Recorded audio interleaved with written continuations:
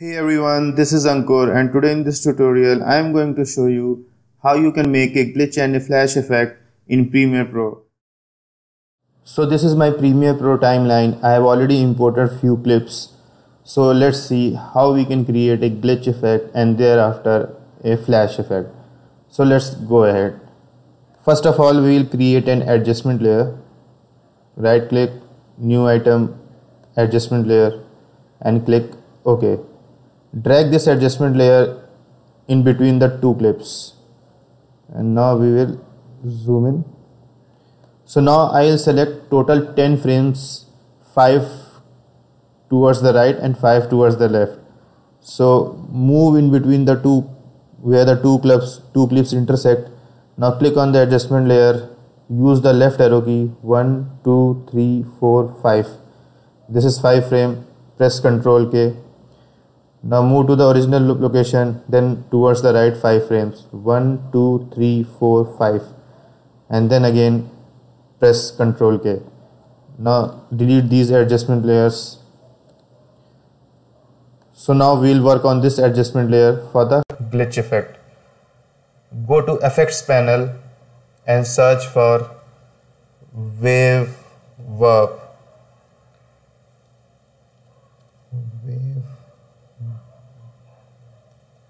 This you can find under distort folder under video effects.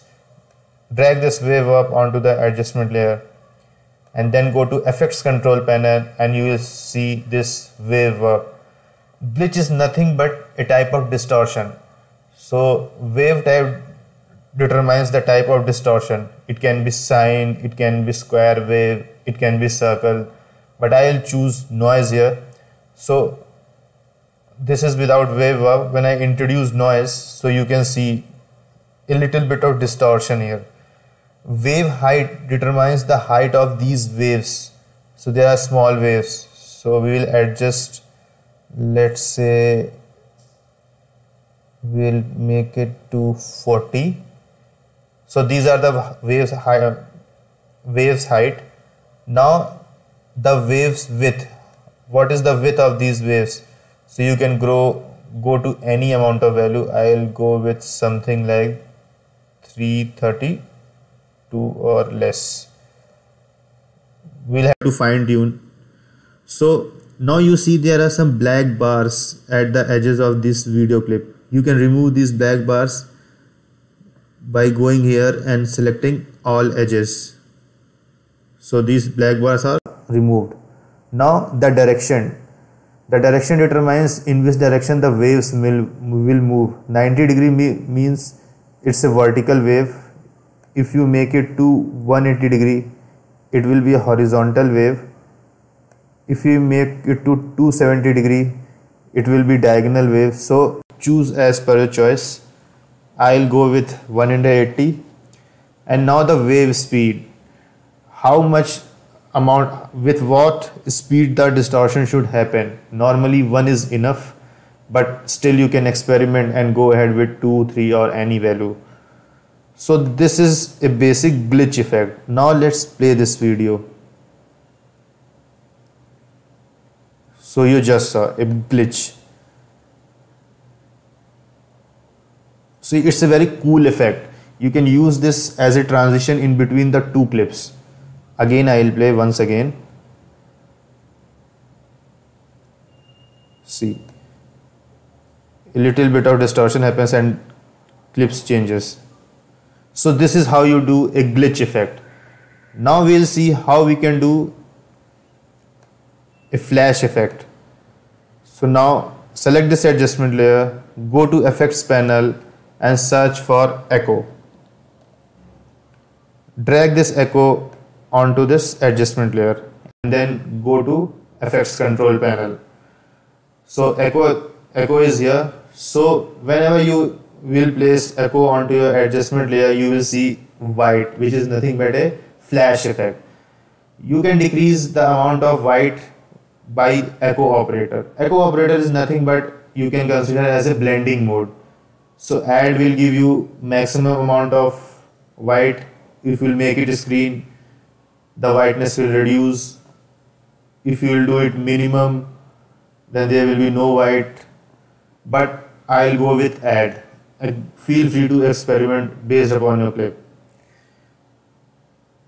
Make echo time as to 2 seconds and then the number of echoes. Number of echoes means the number of echo is nothing but a type of distortion and provides a more beautiful glitch. So make the number of echoes as 2. So observe one thing. Whenever you will increase the number of echoes, amount of white will increase here. So make sure you control it. Either by either use one here or if you want to use more echoes, you can reduce the decay it's currently 100% you can make it to 60.60 that means 60 percentage so it reduced the amount of white now let's play again. See you saw there is a glitch happening and a white also and a white fade effect is also happening. You can little bit increase the decay amount so that a visible white effect is there. Make it as 80 80 percentage now let's play again. 80 is too much. 80 is too much. 80 is too much. 80 is too much. Let's go with 60 only. So you'll have to fine tune several uh, these parameters several parameters in these things based upon your need. So I think it's decent enough. Or what we can do is we can make it as number of echoes as one only if you don't want too much white. Yes, now let's play. Let me render it first. Let me render this then it will play smooth.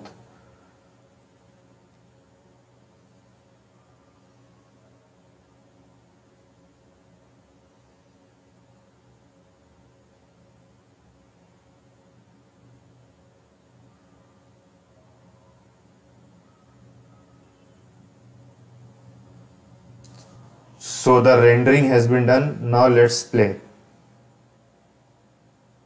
So it's a cool effect. See from this clip it glitches and then it reaches to another clip. Now what you can do is select the adjustment layer go to Lumetri color panel colors and you can increase a little bit of tint if you want to make it a little bit RGB split type so that it doesn't turn pure white or it